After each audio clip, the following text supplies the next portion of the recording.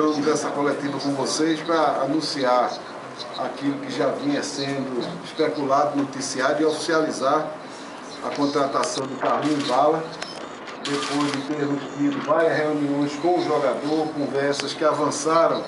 no sentido de conciliar as partes, tanto na parte profissional, que diz respeito à questão financeira, quanto também no que diz respeito à relação dele com o clube. E foram conversas muito boas, conversas muito interessantes, porque elas tiveram todo o respaldo de ex-presidentes, como Rodolfo Aguiar, Mirinda,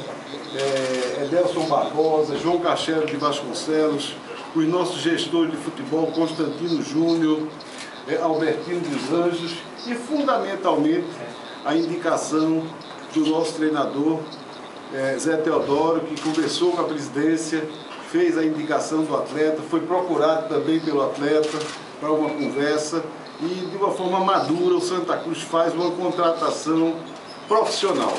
Uma contratação que vem para resgatar alguém que nasceu na casa, alguém que surgiu para o cenário pernambucano e nacional dentro do Santa Cruz e que nós agora trazemos de volta pela vontade dele e também pela vontade nossa. E é por essa razão que a gente tem recebido a solidariedade de muita gente da torcida, alguns que não estavam entendendo a, a contratação já começam a aplaudi-la, já começam a dar as mãos,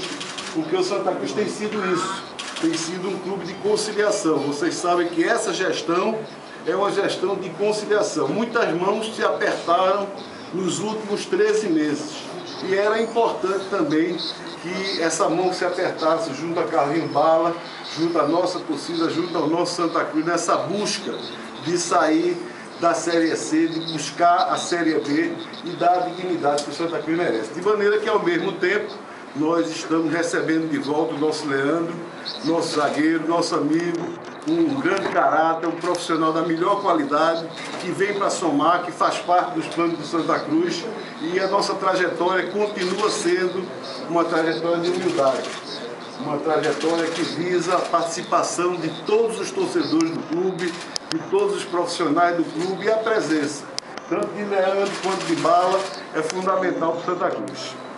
Ok? Eu passar o microfone